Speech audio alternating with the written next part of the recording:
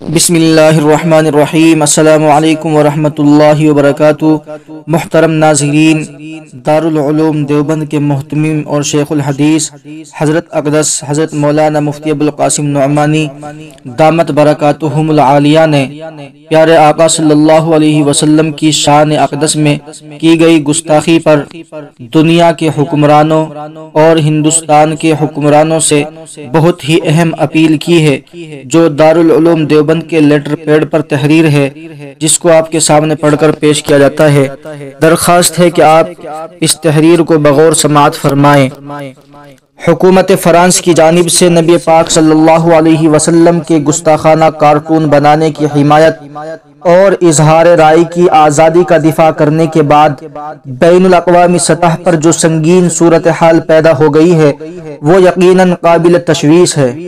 ایک طرف اظہار خیال کی آزادی کی غلط تعبیر اور اس کے غیر معقول استدلال کا مسئلہ ہے، جس پر دنیا میں بحث ہونی چاہیے اور اس سلسلے میں حکومتوں کو سنجیدگی کے ساتھ غور کر کے قانون بنانا چاہیے۔ آزادی اظہار رائے کا بے محابہ اور غیر محدود استعمال نہ صرف انسانی اور اخلاقی اقدار کے خلاف ہے، بلکہ اس سے امن و امان کی صورتحال کو بھی سنگین خطرات لاحق ہو سکتے ہیں۔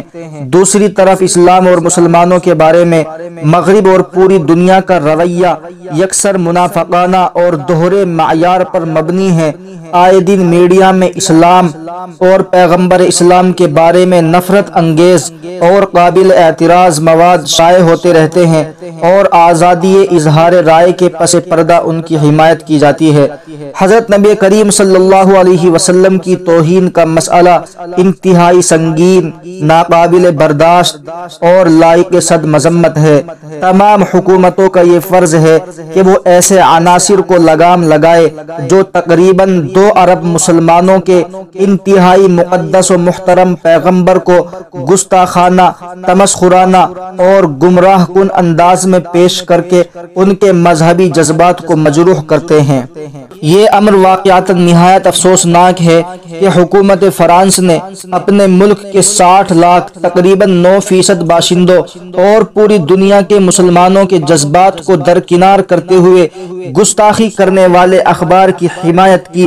اور سرکاری عمارتوں پر ان گستاخانہ خاکوں کے بڑے بڑے بینر آویزہ کیے۔ اس واقعے سے مسلمانوں میں غیظ و غضب اور اشتعال کا پیدا ہونا ایک فطری امر تھا۔ اسی کا نتیجہ تھا کہ پوری دنیا میں حکومت فرانس کے اقدام کے خلاف مسلمانوں نے صدائے احتجاج بلند کی اور اس کا سلسلہ اب بھی جاری ہے۔ لیکن اس سلسلے میں ایک بات تمام مسلمانوں کو یاد رکھنی چاہیے کہ نبی کریم صلی اللہ علیہ وسلم سے محبت و وفادار وفاداری ہمارا ایمان ہے، لیکن اسی کے ساتھ رحمت للعالمین صلی اللہ علیہ وسلم کی پر امن تعلیمات بھی ہمیشہ ہمارے پیش نظر رہنی چاہیے۔ حکومت فرانس کے خلاف احتجاج کرنا ہمارا دستوری اور مذہبی حق ہے، لیکن اس سلسلے میں کسی تشدد، نقض امن اور حدود سے تجاوز کی شرعن کوئی گنجائش نہیں ہے۔ اسی طرح اس واقعے کے رد عمل میں فرانس کے اندر بعض افراد کا جو پر تشدد رد عمل سامنے آیا ہے، وہ بھی قابل قبول نہیں ہے۔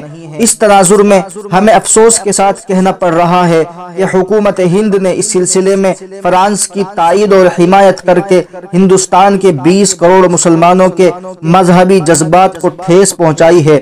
حکومت ہند کو سمجھنا چاہیے کہ ہندوستان مختلف مذاہب اور گونا گو تہذیبوں کا ملک رہا ہے اور مذہبی مقدس شخصیات کا احترام اس ملک کی روایت رہی ہے۔